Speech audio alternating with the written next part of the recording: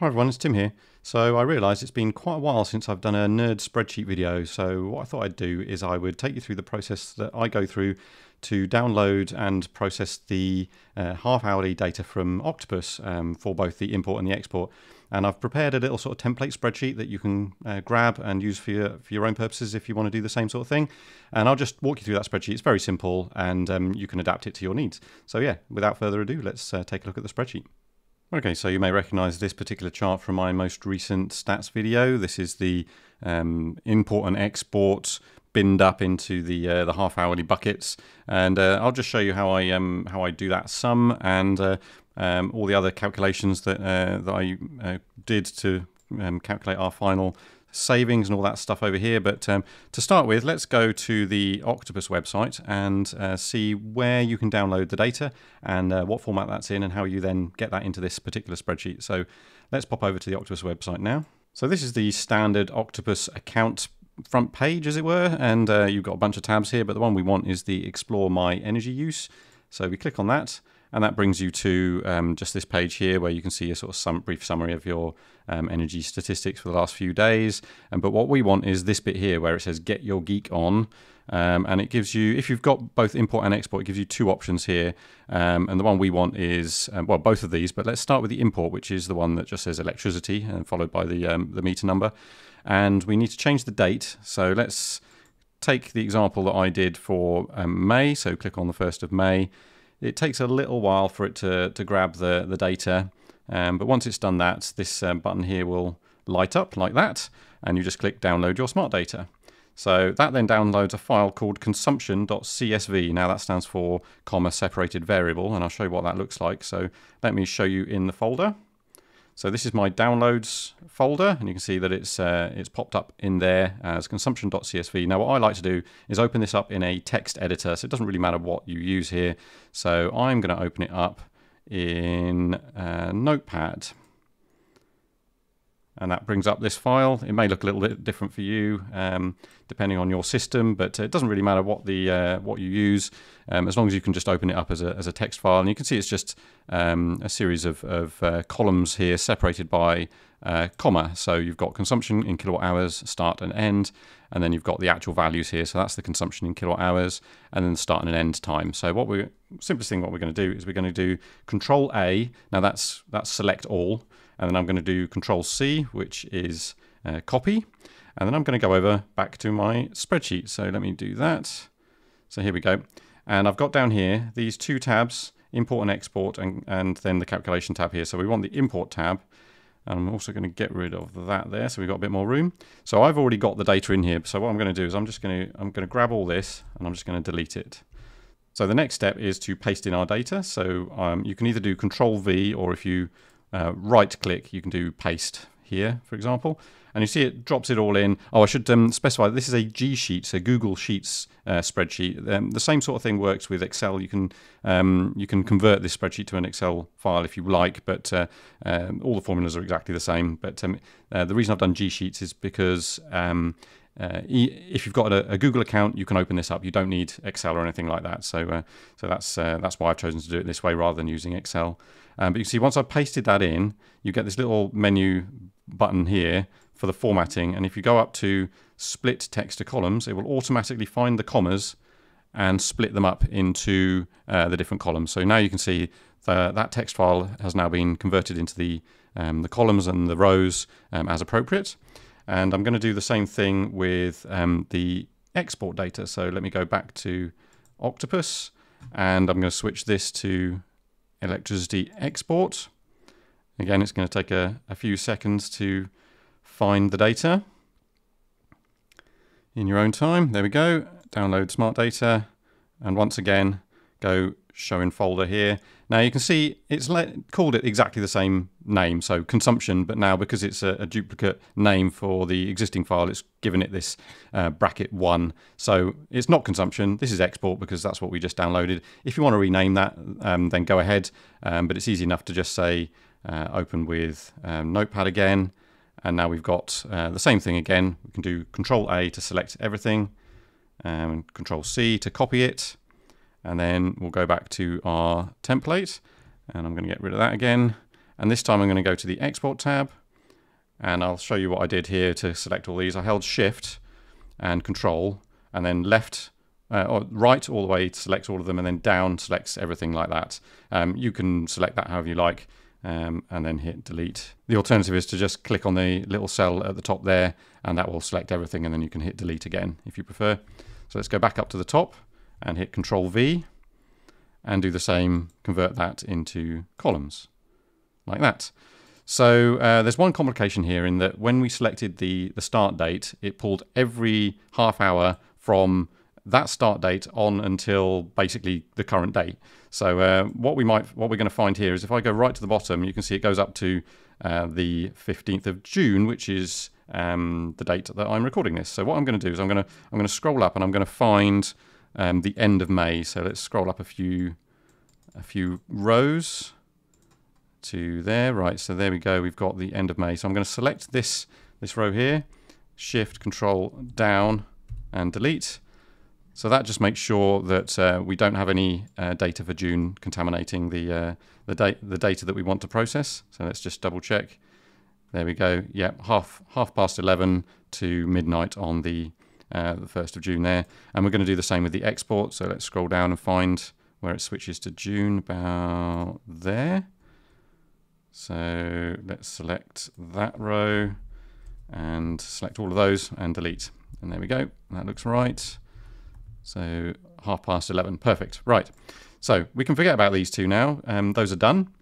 So let's go over to the calculation tab. Okay, so you can see on the calculation tab, I've basically just copied across the start date times from the import tab. So uh, you can see uh, if I highlight this first cell, it says equals import B2. So if we go back to import, and we can see the B2 column is just the start column here. So it's just copying this, this first um, uh, date time column over into the calculation tab.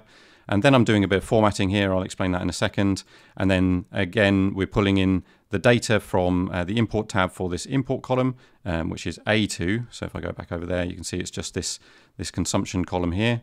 And um, for the export, we do the same thing, but from the export uh, tab. So you can see um, this first column uh, A2 and then downwards and that's basically just the, the export data for the half hours. So that's all we need for, that's all we're doing, pulling in the data from those two tabs. The rest of it is all just calculations that I'm doing. So the first thing I'm doing is I'm converting this, this odd, oddly formatted string that's supposed to represent a date time, but unfortunately Excel and G-Sheets doesn't understand that it's a date time. So we have to do, do a little bit of formatting first. So what happens in this column where I've said formatted start, I'm taking that start value and I'm stripping out this capital T here and I'm stripping off the plus 01 uh, colon 00. So I'm just getting rid of that by using this formula here. And that gives you a, a much nicer formatted string that represents an actual date time. And then I'm doing an additional calculation here which just converts that string into the hours and the minutes. Um, and that's all that that's doing. And I've added this if error here um, because occasionally the um, the data is missing a half hour. So if I scroll right to the bottom here, I've made enough space in this particular um, box here for 31 days of, of um, 48 half hours. But you can see there's a missing one. Now somewhere in here, there is a a missing half hour. Now, I don't know why it happens, but occasionally smart meters just don't send a particular reading. So you may find that every now and again you'll miss one or two half hour chunks. Uh, nothing nothing I can do about that, unfortunately. So what I've done is I've just to make sure there there's no problems in this last row. I've added um, where is it now? This if error, and that just replaces any errors in the calculation with a with a blank cell. So that's all that does. Um, the rest of it is just um, is just lookups and other stuff. So if I scroll up again back to the top, you can see what I'm doing here. Um, we've this this is the data that we've imported, and then I'm also calculating what the um, the tariff for this this particular half hour is based on the um, the flux tariff periods. So um, what I've done is th in this section over here, I've set up the flux tariff in this box here. So all of these purple cells are ones that you can enter your own um, values in. So what I've got is a, start and an end block, and I've got the import and the export tariff for that block. And um, what we then do is we do a lookup on on the values in uh, in this table to populate these two values here, the uh, the import tariff and the export tariff. uh, and you can see that well, that's all that's doing. It's just taking um, a VLOOKUP of the the half hour that we've calculated before, and it just looks it up in this in this little table here. And then, obviously, once we've got the the um, number of kilowatt hours that we've uh, imported or exported, and we've got the tariff in pence per kilowatt hour, we can convert that into a, a cost, obviously, very easily by just doing this calculation, which is taking the kilowatt hours multiplied by the pence per kilowatt hour, and then multiplying it by 0.01, which converts it from pence into pounds. And we're doing exactly the same thing with the exports. You can see it's just the same uh, formula, but with the different columns. And because we've got every single um, cost for every single half hour and all of the export as well, you, we can then calculate um, what that is in terms of the total for the month. So in the in the cells here, all I'm doing is I'm just summing all of the values in that column, and I'm doing the same thing uh, in this column as well. And that tells me that the sum total of my imported energy for the month was £77.25, and the sum total of exported energy earned me £195.96, and you'll you'll have seen that in the stats video um, that I put out recently, if uh, if you watched that already. Um, and then we can do some other clever stuff. So, I mean, those are obviously the, the most important values, but we can do a bunch of other stuff. Um, and that's what I've done to create this particular chart here. I've actually um, effectively just done a sum over every single one of these half hours so any time that it says, you know, 630, I add it to the equivalent 630 value here, for example, um, for both import and export. And I do that over the, every single day for each month because what I've done is I've taken every single half hourly block here and then I've done a, it's called a sum if basically. Um, so it sums all of the data. Um, whoops, let me just uh, highlight that again and scroll across. It sums all of the data in this particular column which is the export kilowatt hours, and it only adds them together if they're equal to this little block here where it says uh, 130 in this particular example. So it's only taking every cell where that represents half, uh, half past one in the morning and it adds it all together. And you can see, well, for this particular example, the export is zero because it's in the middle of the night, so we're not exporting anything.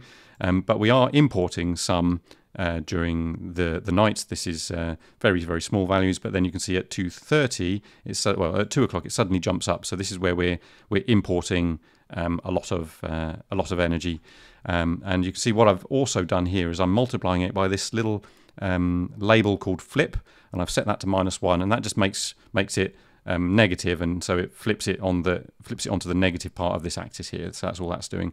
So um, we've got the four columns here: the import kilowatt hours, the export kilowatt hours, the import tariff, and the export tariff. And so you can see I've set up two axes here: the um, the energy in kilowatt hours, and then the tariff on the right hand side in pence per kilowatt hour. So that's what those two uh, different sets of uh, of lines represent. Um, and if you if you don't want the chart to look like that, if you want it the other way around, for example, you can go through here and say, let's flip that to the positive. So put one instead of minus one. So that flips that one up. And we could put minus one here, and that will flip that one down. And we can do the same with the tariff as well. So we can set that to zero, and that will flip the, that tariff up. And this one, oops, zero. What am I talking about? Um, we need to set that set that to one, and that will flip that up to the positive axis. And uh, minus one here will flip the export down underneath. So what you may find is that you need to change the axes uh, limits here. So I've set these up so that they're hard coded, but you can just sort of double click on these and bring up the axis limits here. So I've set this to minus 120 to 120. But if you've got more or less import, then you might want to change those just so that it completely encompasses your your data, uh, for example. Um, but the reason I've done that is so that the zero line is the same on both the tariff and the the kilowatt hours. Um, otherwise, you find that maybe the tariff is sort of floating up here somewhere and it doesn't line up properly. So by defining the the the posit- the, the ma- minimum and maximum values, then it, you can guarantee that it's always um, you know right down the middle there. Um, but I like it this way round with um, with the import uh, on the negative and the export on the positive. So I'm just going to flip those back to the way I, I had them before. And that's the that's the view that we saw um, in my stats video. So I'm not going to go into too much about all of the rest of these calculations. Um, the, uh, the, the very simple one here is just calculating the number of days. You can see it just counts the total number of cells that we've got and divides it by 48. So you can see for May we've got 31 days. If you um, had obviously uh, um, June's data in in uh, in here, for example, then you would find that um, if I scroll right to the bottom here, then you will be missing, you know, the, the, the last day of this particular table. So it will count up all of the empty cells and say, right, okay, that's um, uh, that's only 30 days, so you don't need to do that calculation. And then there's a bunch of other stuff here. Purple is inputs, yellow is outputs, um, white is just some sort of intermediate calculation. And you can see basically these are all of the, the, the values that I showed in my um, stats video. Um, I do actually have a confession to make. I made a slight mistake in my stats video. Uh, don't tell anyone. But um, the savings are actually slightly higher than I reported because what I hadn't done was I hadn't accounted for the fact that obviously we're currently using an electric vehicle instead of a petrol car. We replaced our petrol car with the, with the electric car, which means that we no longer have to spend any money on petrol, of course. So although I had um, added in the amount of electricity into our into this calculation to show how much we'd spent on charging the car at home. What I hadn't done was account for the fact that we would have spent um, more money filling up with petrol. So I've done and I've added an additional calculation, and you can see um, there's a few sort of helper columns here. So we're currently getting about four miles per kilowatt hour with our with our Fiat 500. Uh, the car that we replaced um, that with was was a Honda Jazz, and we were getting about 50 miles per gallon with that. Um, and then um, you can. Uh, I've got another column here, which is the um, cost of petrol at the moment in our local um, supermarket, which is one pound forty per litre.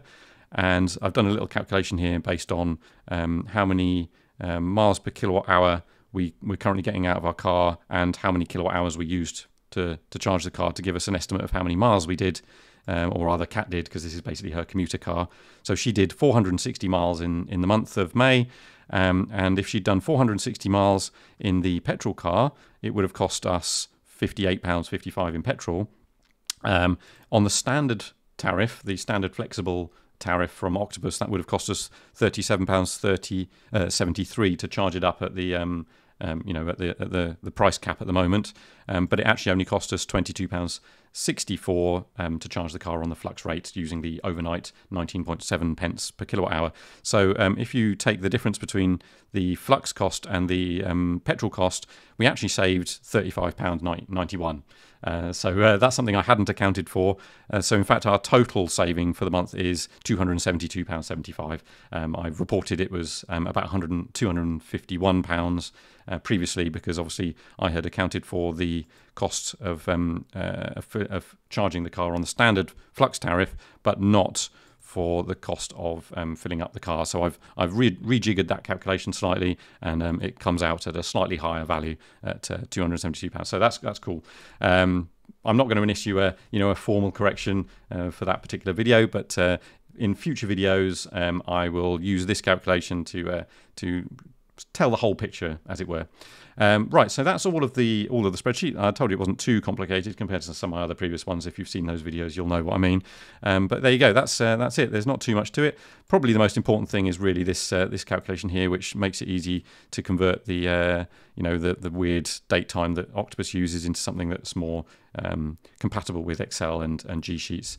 And uh, so yeah, that's uh, just thought I'd show you that because it's a neat little trick. Um, if you want to grab this spreadsheet. Um, I'll put a link to it in the description. And what you then do is you go up to the file tab here and go to make a copy. Now what that will do is that will it will probably ask you to save that to your Google Drive um, and uh, if you've got a YouTube account that means you've already got a Google Drive account whether you know it or not.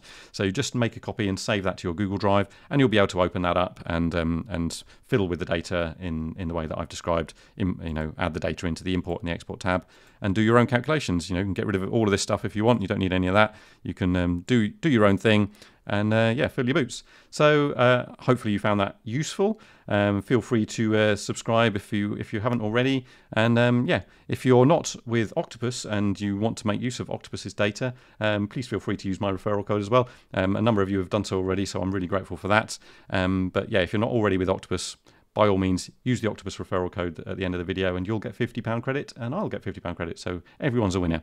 So yeah, that's it. Thank you very much for watching. I'll see you in the next video, and uh, bye for now.